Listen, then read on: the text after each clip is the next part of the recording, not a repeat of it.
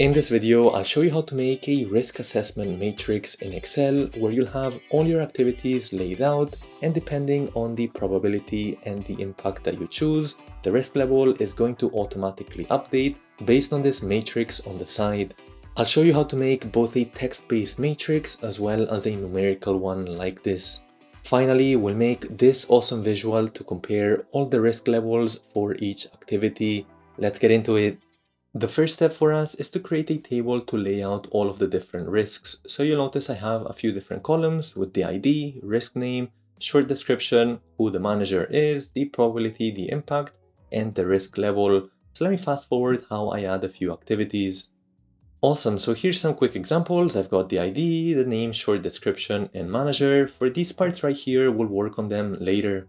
So we're done with the table layout and you can actually download it for free in the video description to follow along. From here, we should work on the matrix on the side. So it's gonna have two parts. One is the y-axis with the probability and then over here is the x-axis or the horizontal one with the impact.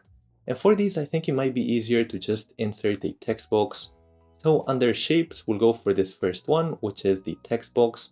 I'm gonna add one up here as the impact and then I'm just gonna format this. So let me just center it like that, bolden it, and I'm just gonna make it a bit bigger too.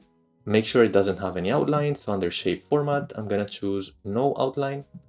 And I'm also gonna go for no fill. So it's this part right here. Now I can just duplicate this with control D and I'm gonna add another one right here and make sure that's rotated like this for the probability this time.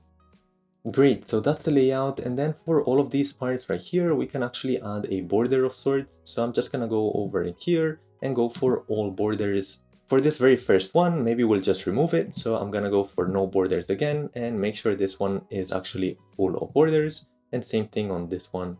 So the shortcut there that I'm using is Alt HBA. That's basically adding all borders. So we're gonna have the different levels on this side and then on this other side as well. So it could be the very likely as the number one, then it's likely as the number two, followed by possible, unlikely, etc. And same thing on this side. So let me fast forward how I do that. Awesome, so that's what it looks like. And for the wording here, it is a bit subjective. So maybe instead of critical, you could call it catastrophic. That's really up to you. Overall, you can also do this with numbers like going from 1 to 5. All you need to do is just change these from 1 to 3 all the way to 5. The main problem though I find with numbers is that it's not all that clear whether a 1 is good or bad. So with words, I think that makes it a lot more clear. That said, later we'll go over a full matrix just using numbers, but for the time being, let's fill this one in. So if it's negligible and rare, we can choose low over here as the option. And on the flip side, if it's critical and very likely, we can call this extreme. Let me fast forward how I add these, and in my case, I'm gonna go all the way from low, medium, high to extreme. Awesome, so we have the text laid out, and keep in mind this is a bit subjective. Maybe right here, the measure and likely would be high for you instead of extreme. That said, let's go ahead and color these so it is a bit easier to see. For now, we just need to do this manually as in the matrix, it's never really gonna change. So right here as the colors, I'm gonna go for a red being the extreme. And on the low side, if you wanna select multiple, just press the control key. So you can see I've selected these two right here and this last one too. And I'm gonna change this one to green. Let me fast forward the rest. Awesome, so we have the table layout and we have the matrix done. That means we can actually work on filling in the full table. So in here as the probability, we now know all of the different options that we have. So we can actually create a dropdown for this by going over to data and clicking on data validation, which is this button down over here. Within it, we want a list and more specifically, the source is going to be from very likely all the way to rare. Make sure you select it from here instead of typing it manually. So here's our dropdown and because we've selected it from this side, if I were to change this to a number 5 instead, you'll notice that the options are now updated. That's why I think it's best if we link it. We'll do the same thing with the impact side, so we'll go to data validation, and we're gonna go for a list, and the source is gonna be this top part instead. So from negligible all the way to critical. Press on OK, and now we have this as a drop down too. Let's drag these all the way down to the bottom, like this. Because we've done this data validation step, it means that our cells are well protected. So instead of very likely, if someone says 100% in here, you'll notice that it doesn't actually let you put that as it's simply not part of the dropdown, so it's nicely protected there. Finally, for the risk level, it would basically be the multiplication of the probability times the impact. The problem is because we have these as text, obviously we can't just multiply text. That's where our matrix comes handy over here. So for instance, if it's very likely and if it's a minor impact, we know that it would be high. Now to have this be automatic, we can actually use the index match formula and pay attention here as this is a bit of a tricky formula for people to grasp. So it's gonna be equals to the index function, that's the first part. As the array is basically where is our result pool, so it's gonna be all of the area inside of this matrix. Press the comma key, the row number, we're gonna add our first match in here. So we're saying the first thing is the probability. Whenever the lookup value is very likely, we wanna find the corresponding result in this side. So the lookup array is gonna be in here. The lookup value, very likely, comma, lookup array, all of this range right here, comma, and we want an exact match. We'll close up parenthesis, press the comma key again, and now we want to do the same thing for the second criteria, which is the impact for us. So we'll put a match in here again. The lookup value is actually right behind this formula. We're looking for this value right here, which is the minor for us. So G3, comma, the lookup array is within this whole area right here, comma, and we want an exact match. We'll close the parenthesis for the match there, and now we need to close it again for the index formula that we laid out at the start. Close that parenthesis and hit enter. So this first one is high, but you'll notice as we start to drag this down, it gives us an error. So let's double click in here, and you'll notice what's happened is that everything's moved down one because we moved it down from this top formula to this next one a bit lower down. So we somehow need to fix this, so keep it at this range so it doesn't move on this side, but it does move down on this other side as each activity is going to have a different probability and impact. And for this, what we need to do is first select this part right here and press the F4 key. That's gonna make sure it doesn't move down. Same thing with these other columns, so the very likely side and this whole negligible part. So I'm gonna select the other range, so this lookup array, press the F4 key again, and for this final part as well, press the F4 key and hit enter. Now I can double click on the side here to drag this down and you'll notice all of them should say high as we have the same responses. But if I change this to rare and I go from minor to critical, you'll notice that it says medium now. We look in here, we said rare and we said critical, so it's saying medium. And feel free to test all of these other ones, but it should all move automatically Alright, so we've now made the table layout, the matrix, and we've also filled in the different values. That said, for the risk level here, it would be nice if it matched the same color as this matrix. Before we do that though, if you struggled with some of the formulas here, like the index match and locking with the F4 key, maybe you just followed along without actually understanding it, then I'd recommend you check out our Excel for Business and Finance course. With our comprehensive curriculum, we cover all things ranging from writing Excel formulas to building awesome visual dashboards, creating large dynamic financial models, and much more. This is basically the course I wish I had before I started working in an Excel heavy corporate role. If all of that sounds interesting, head over to the link in the description below. And if you want more than just Excel, we also have several other courses including Power BI, finance evaluation, and much more. As we said, we now want to work on all the different colorings here, and for this we're gonna use conditional formatting to make it dynamic. So within this area right here, make sure you have this whole column selected, and we're gonna go over to highlight cell rules when they're equals to a specific text value. So we're saying when the risk level is equals to high, it should be matching that high color, which is this orange one, so down here, I'm gonna go under custom format and in the fill color, I'm gonna choose that orange color. If you want a specific one, you can go under more colors and in custom, here I can type the hex code, which in my case is FF8A00. Press on OK there and OK again. You'll notice the high is now in orange.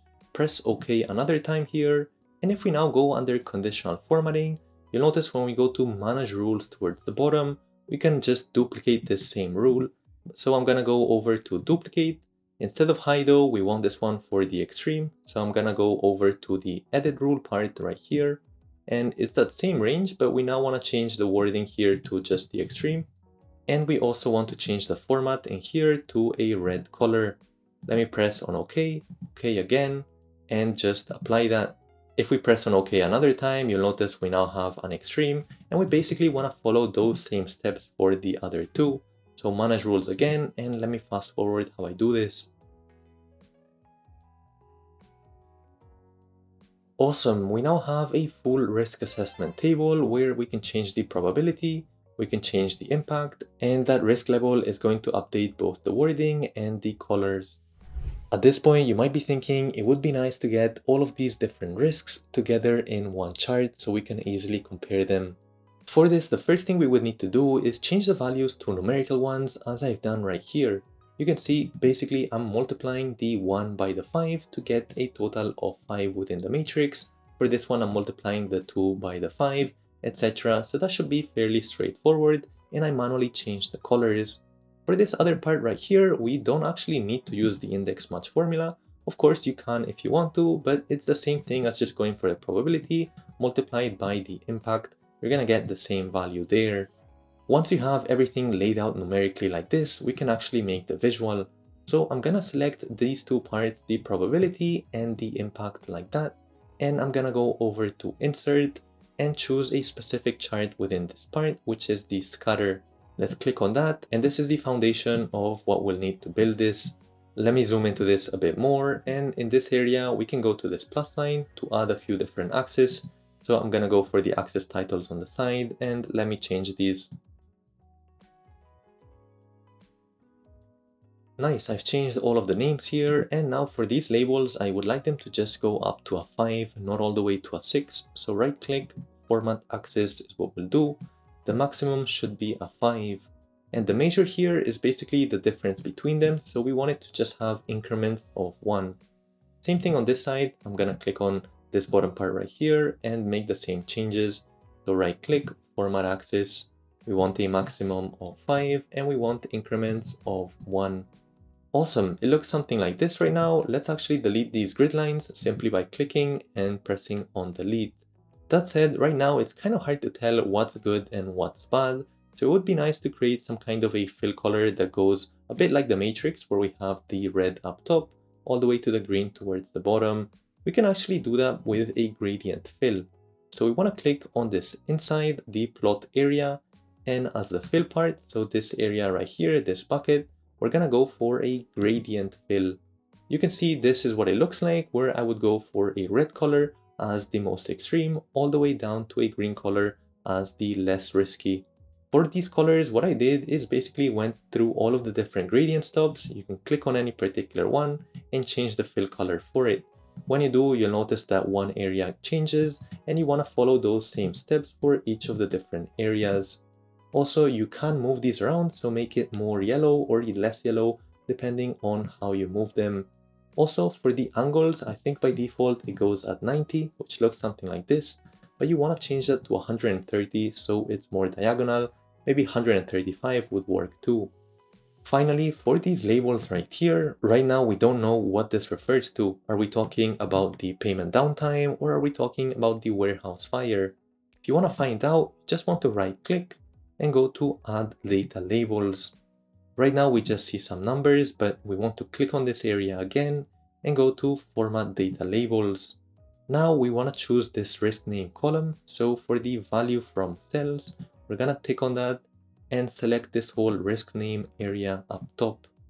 Press on OK there and you'll notice the payment downtime has a 5 in terms of impact and probability which if we look in here, that's looking correct. The problem is we can't see these very well.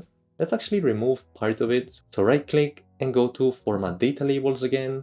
We're gonna go for no Y value, so we don't need to see those numbers. And we're actually gonna add a fill in it. Let's go for a solid fill like that in black. That said, for the text, we need to change it to a white color. So we can go over to format up top and change this to a white. Nice, now this is very easy to see what's going on in each of these parts. I can also change these dots to a black line. This should be this fill area and I'm gonna change that to a black like so. that's looking a lot better. That said, some of these do have some overlap. For instance, here under bankruptcy, I think there's a second one. So you can see there's data breach down below. So you can just drag and move it a bit higher up so we can see both options. Awesome, so we've managed to lay out all of the different risks visually. If we take a look at this again, it looks like there is quite a high probability for a lot of these risks, so that's something to keep in mind. Also, another key limitation of a risk matrix is that it's kind of subjective. When it comes to things like, let's say, the payment downtime, some people might think the probability should definitely be a 5, while others might think a 1 is more appropriate there. So it's really hard to stay objective here. The same thing goes with the actual matrix on the side. For some of you, a score of 5 might actually be more like a low than a medium, so that really depends on your criteria too. Next up, if you want to make a Gantt chart in Excel for project management, you should watch this video over here, or if you want to make an inventory management template, you should watch this other video over here. Hit that like and that subscribe and I'll catch you in the next one.